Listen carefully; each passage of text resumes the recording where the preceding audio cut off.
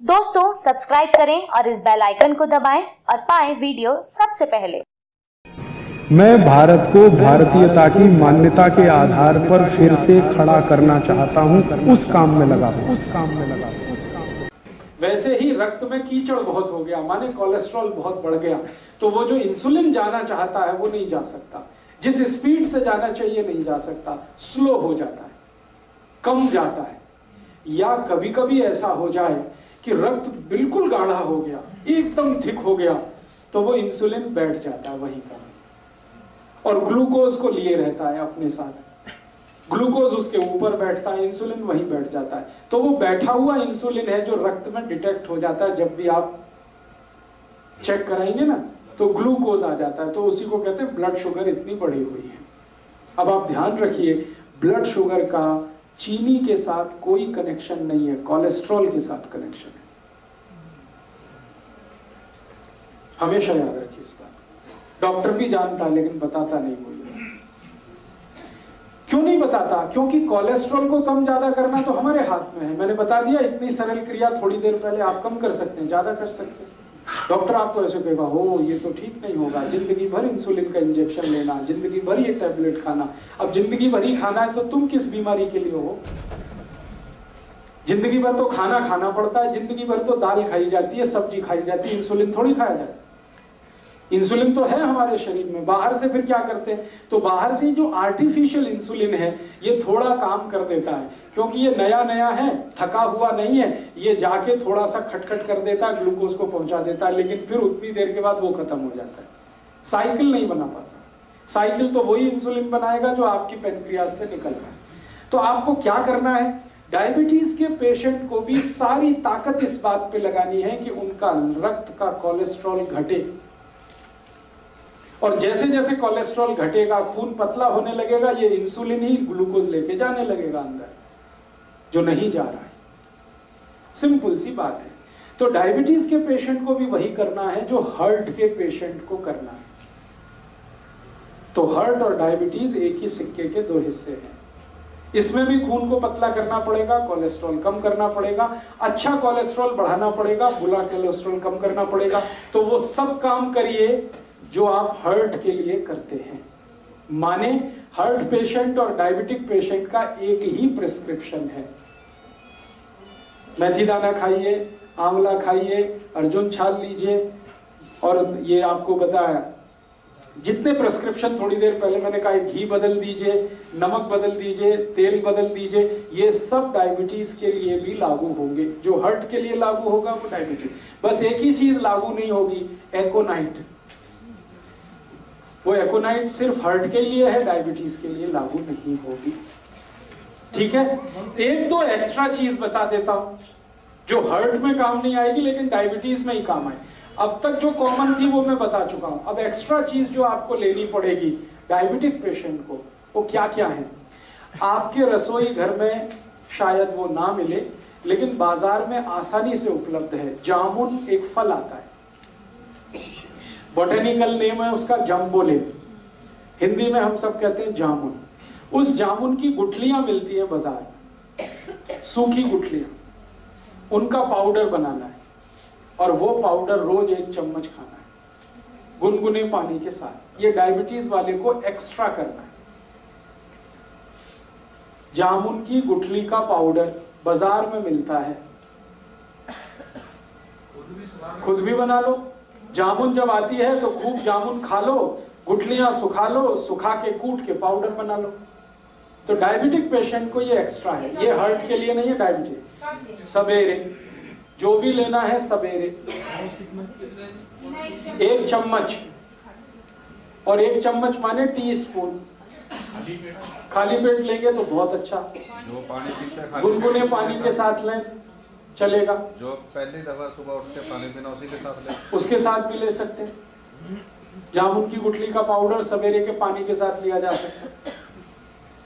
और ज़्यादा शुगर बढ़ी हुई है तो समझ लीजिए कोलेस्ट्रॉल और ज़्यादा है तो इसको दो बार कर लीजिए सुबह और शाम। शाम को हमेशा खाने के पहले ही लेना है इसको जब भी लेना तो ये एक एक्स्ट्रा चीज़ है। बाकी मेथी दाना आप ले सकते हैं, त्रिफला ले सकते हैं, वो सब चीज़ें जो हर्ट के लिए ले रहे हैं, वो तो है ही। ये एक्स्ट्रा है जामुन की गुठली का पाउडर ये जामुन की गुठली के पाउडर के साथ और भी कुछ है जो ले सकते हैं। करेले के बीज का पाउडर करेला है, उसके बीज निकाल के सुखा लीजिए। और या तो करेला ही छोटा छोटा पीस करके सुखा लीजिए।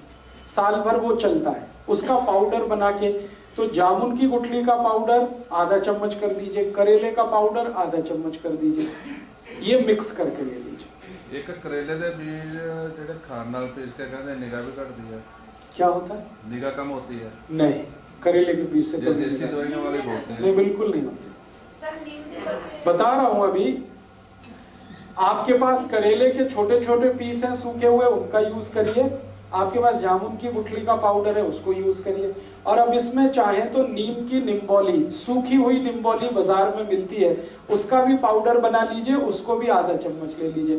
तीनों मिलाकर डेढ़ चम्मच हो गया। जामुन की गुठली का, करेले का और नीम के निम्बोली का। तीनों का पाउडर मिक्स करके डायबिटीज़ के पेशेंट हार्ट वाले ये कभी ना लें।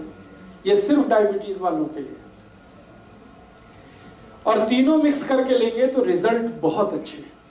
अकेला भी लेंगे तो रिज़ल्ट है। ऐसा नहीं है कि जामुन की गुठली का रिज़ल्ट नहीं है।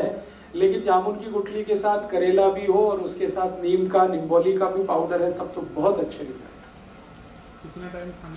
तीन महीने लगातार फिर पंद्रह बीस दिन ब्रेक फिर तीन महीने लगातार फिर पंद्रह बीस दिन ब्रेक जब आपको लगे कि आप सब कुछ नॉर्मल हो गया है तो धीरे धीरे बंद करें। गुठली निकाल लें तो ठीक है नहीं तो बिना निकाले ही पीसें उसको। कोई दिक्कत नहीं। ये समझे कि मीठा खाता होता है हाँ। अब ये सब लेने के बाद कोई डायबिटिक पेशेंट है मैंने आपसे बोल दिया है कि भगवान का बनाया हुआ कुछ भी मीठा खाइए। आदमी का बनाया हुआ मत खाइए। चीनी नहीं खानी। आदमी की बनाई हुई है। गुड़ भगवान का बनाया हुआ है। गुड़ क्या है ना? गन्ने के रस का है। गर्म करके ही तो आ जाता है। तो उसमें कुछ ज़्यादा कुछ मिलावट नहीं है और कुछ आदमी का दिमाग भी ज़्यादा नहीं लगता। ये आदमी खतरनाक है सारी दुनिया में। ये अपना दिमाग जहाँ लगाता है वही सारी गड़बड़ करते हैं। हाँ खा लीजिए देशी खांड खा लीजिए। मिश्री। खा लीजिए। आप जो है मिश्री खा सकते हैं। मिश्री भी पत्थर से ही आती है। मिश्री खा सकते हैं देशी खांड खा सकते हैं गुड़ खा सकते हैं शहद भी ले सकते हैं लेकिन चीनी नहीं। शुगर नहीं। गाजर पाक बनाइए ना गुड़ में। स्टीविया ले सकते हैं। गाजर पाक बनाना है तो गुड़ में बनाइए, कोई दिक्कत नहीं। हलवा बनाते ना, गुड़ में बनाइए, कोई दिक्कत नहीं। बस इतना ही ध्यान रखना है। शक्कर माने चीनी, शुगर। गुड़ का पाउडर है तो वो तो वही है जो गुड़ है। उसमें कोई अंतर। मेरा इतना ही कहना है कि आप ये सब मीठी चीज़ें जो भगवान की बनाई हुई हैं, ज़रूर लीजिए। क्यों लीजिए? जान लीजिए। आदमी की बनाई हुई जो मीठी चीज़ें हैं, उनमें ग्लूकोज है। भगवान की बनाई हुई जो मीठी चीज़ें हैं, वो सब फ्रक्ट्रोज है।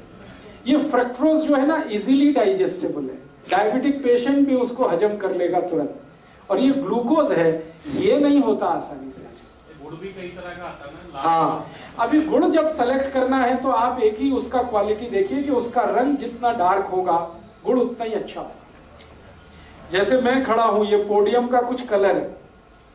ये पोडियम के कलर का गुड़ अगर लाएँगे डार्क तो डार्क गुड़ जितना होगा क्वालिटी उतनी अच्छी होगी। उसमें केमिकल उस उतने ही कम होंगे।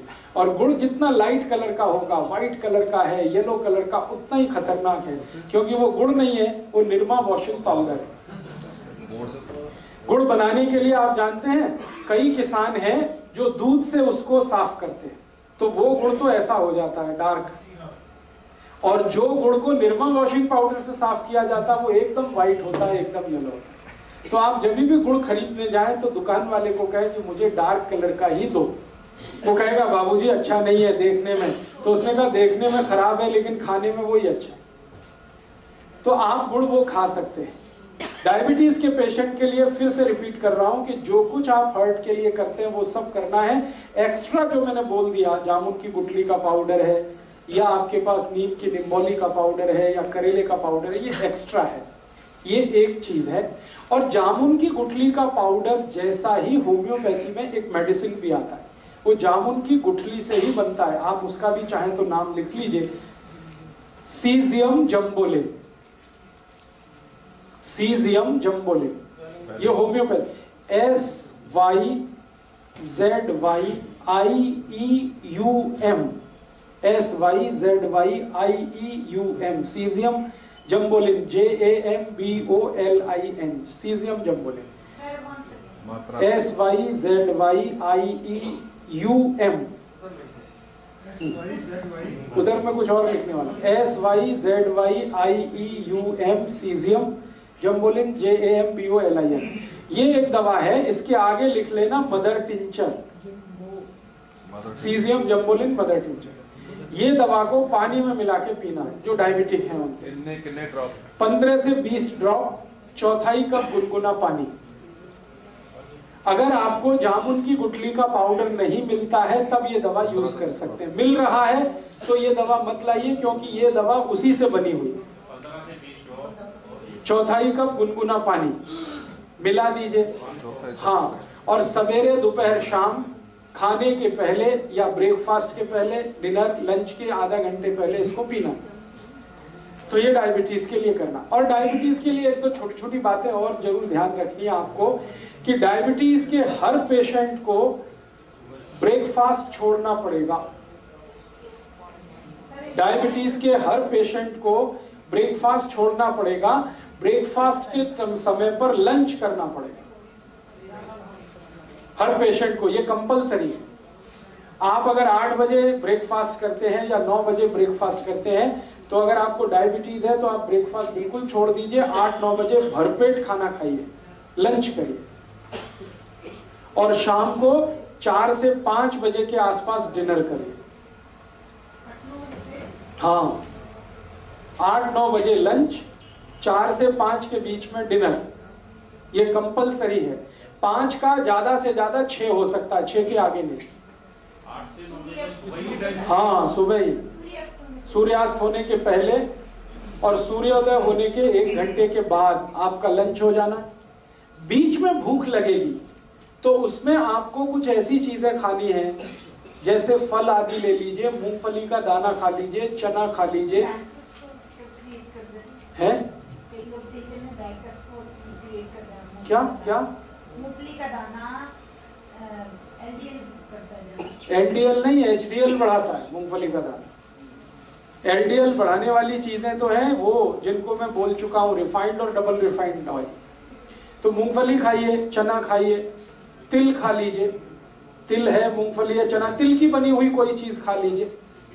चने की बनी हुई चीज़ें खा लीजिए मूंगफली की चीज़ें खा लीजिए उसके साथ दो चार कोई फल लेने हैं तो फल ले लीजिए। जूस लेने से अच्छा है फल खा लीजिए उसके साथ। तो दोपहर को इस तरह से आपकी व्यवस्था करिए। सवेरे नौ बजे तक लंच भरपेट करिए शाम को चार पाँच बजे भरपेट डिनर करिए। जो भी डायबिटिक है उनके लिए। ये तो कंपलसरी है बिना इसके आप कोई भी अचीवमेंट नहीं कर सकते डायबिटीज़ हाँ। अभी जो डायबिटिक और हार्ट पेशेंट है, उसको 90 परसेंट तो चीज़ें कॉमन ही है, आपने सुन लिया है। कुछ ही चीज़ें हैं जो अनकॉमन है। तो जो अनकॉमन है, उनको शाम को कर दीजिए, जो कॉमन है, उनको सवेरे कर दीजिए। ऐसा करके आप अपना खुद का ट्रीटमेंट कर लीजिए। दोस्तों, सबसे पहले तो चैनल सब्सक्राइब करें, फिर लाइक कमेंट और शेयर करें। और हाँ हमारा एंड्रॉयड ऐप डाउनलोड करना ना भूलें।